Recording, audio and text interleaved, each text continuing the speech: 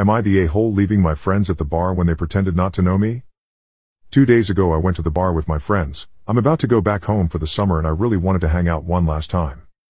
So I had planned not to drink that night so I drove, so we're hanging out and talking and I need to go take a leak, I go wait in line to piss and when I get back there there were three guys, so I make way back to the table abs of off the guys asks if he can help me.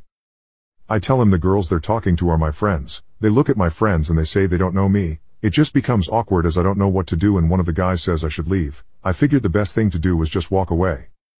I go sit at the bar, and I decided that I'm drinking since I have nothing better to do with myself. I get an apology text saying that one of my friends really likes a guy and if I came back to them the guys would probably leave. Eventually after I'm a little messed up I decided I'm going home. I get myself an Uber and go home and go to sleep.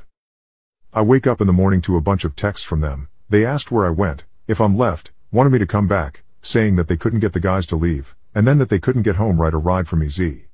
Eventually, they said they ordered an Uber but were pissed at me.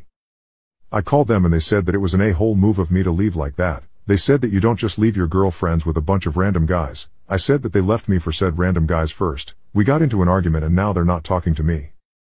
Am I the a-hole?